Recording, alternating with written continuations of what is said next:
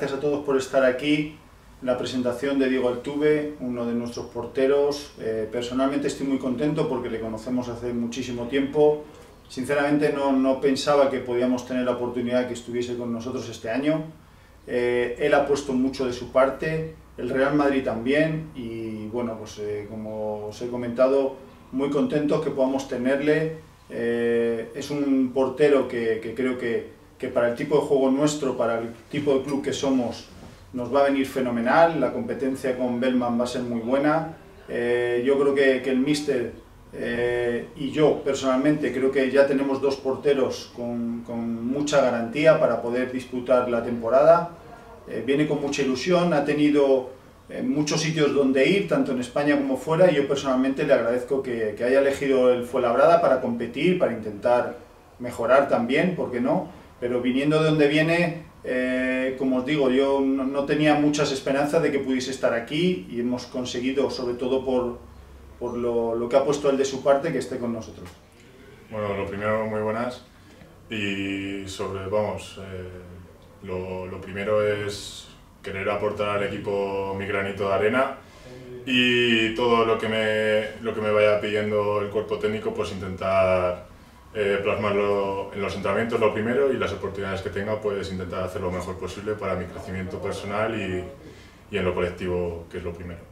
Nada, lo primero fue de los primeros que me dieron la bienvenida al equipo y guardo muy buena amistad con él de, de, nuestra etapa en el Castilla,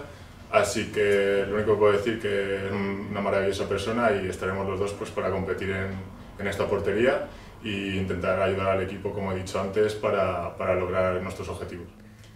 Bueno, lo primero, pues enfrentarte siempre a tus compañeros y tan pronto, pues te parece algo extraño, pero, pero bueno, aquí somos todos profesionales y, y intentas dar lo mejor de ti e intentar pues acoplarme lo más rápido posible al, al grupo y con la segunda pregunta pues eh, sobre todo el míster me ha pedido que, que, esté tranquilo, que sea seguro, que sabe perfectamente lo que puedo dar al equipo y que, que trabaje duro todos los días y que esto es un, un, una carrera de larga distancia y, y que, que, siga trabajando pase lo que pase. Bueno, yo lo primero que, que la afición ya, ya está de vuelta, es un punto positivo ya para el equipo, para lo que es para nosotros.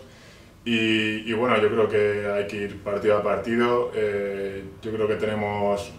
o vamos a tener una, una gran plantilla para, para lograr una, una, buena temporada y, y, dar esa alegría que, que, es, que la afición tanto, tanto espera. Sí, como te digo,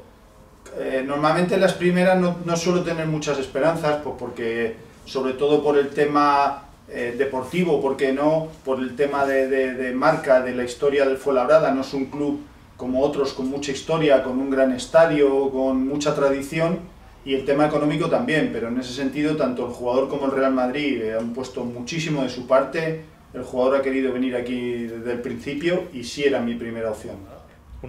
Los perfiles muchas veces, eh, yo, yo no creo mucho en los perfiles, creo en la idea y el tipo de juego que hace el Fuenlabrada y el guion marcado desde hace cinco años. Ese va a ser el perfil, el perfil va a ser eh, jugador del Fuenlabrada. Bueno, la verdad es que de estos jugadores llevamos años que se sigue hablando, me vais a permitir ser muy cauto en, todo lo que diga y, y, no es un día hoy para hablar de ellos, es un día para hablar de Diego y,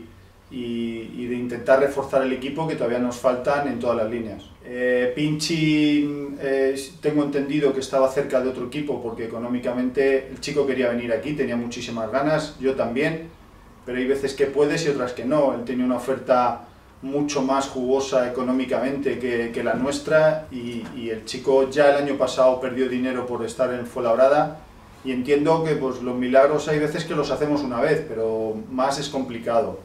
Eh, yo creo que no, que no va a poder venir y y es un tema mayoritariamente económico.